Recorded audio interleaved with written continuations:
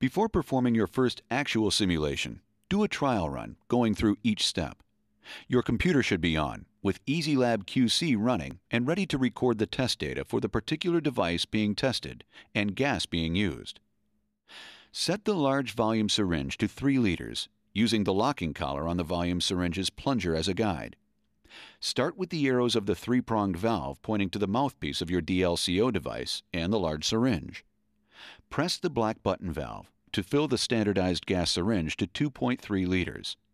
Your DLCO device will require tidal breathing, just like a patient. Push the plunger of the volume syringe in and out four or more times.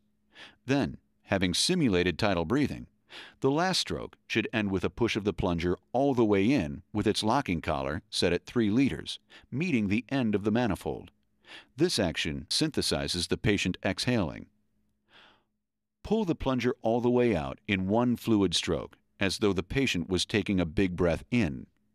Do a breath hold for 10 seconds, during which time you will place one hand on the end of the plunger of the standardized gas syringe and the other on valve 1, the three pronged valve. Remember, the target breath hold time is between 9 and 11 seconds. When 10 seconds of breath hold time have elapsed, quickly turn valve 1 clockwise, connecting the standardized gas syringe to the main port. Push the plunger of the standardized gas syringe all the way in using one smooth stroke, as though the patient was exhaling again. This completes the breathing simulation cycle of the test, in this case, the trial run. At this point, you would wait while the gas is being analyzed and computed. You may want to go through the trial run once more before performing the first true simulation, or you can move on. The more comfortable and confident you are in the process, the more smoothly the testing will go. For this training, we will operate on a scenario of testing middle and high DLCO ranges, starting with the middle range. However, if you will be testing different range combinations, simply follow the procedures described. Only minor adjustments would need to be made. We'll begin with the middle range testing, performing 5 tests at 3 liters, 5 at 4 liters, and 5 at 5 liters. Then we'll switch the pressure regulator to the high range gas cylinder, flush the standardized gas syringe, then repeat the testing process, again performing 5 tests at 3 liters, 5 at 4 liters, and 5 at 5 liters. Make sure that the pressure regulator is attached to the middle range gas cylinder and the gas is turned on. Connect the largest port on the simulator's manifold and the mouthpiece of the DLCO device, if they are not already connected. Use the locking collar on the volume syringe's plunger to set the volume syringe to 3 liters. Turn the three-pronged valve counterclockwise so that the arrows point to the volume syringe and the simulator's main port.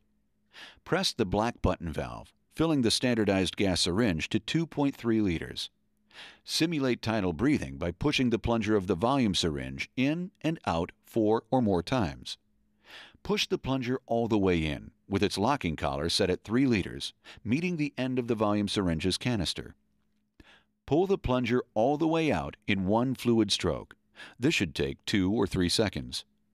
Keep the plunger of the volume syringe pulled all the way out for a breath hold for 10 seconds. Turn valve 1 clockwise, connecting the standardized gas syringe to the main port. Push the plunger of the standardized gas syringe all the way in using one smooth stroke. Wait as the gas is being analyzed and the computations completed. Review the results as they are displayed on the computer monitor before performing the next simulation, checking that the breath hold time captured is between 9 and 11 seconds and the computed values are within a range appropriate for the particular DLCO device you are testing. Repeat the test four more times, using the middle range gas, and with the volume syringe set to 3 liters. Once you have completed five satisfactory tests at 3 liters, it would be a good time to stop and enter data into EasyLab QC. Having done so, then you would continue with the testing.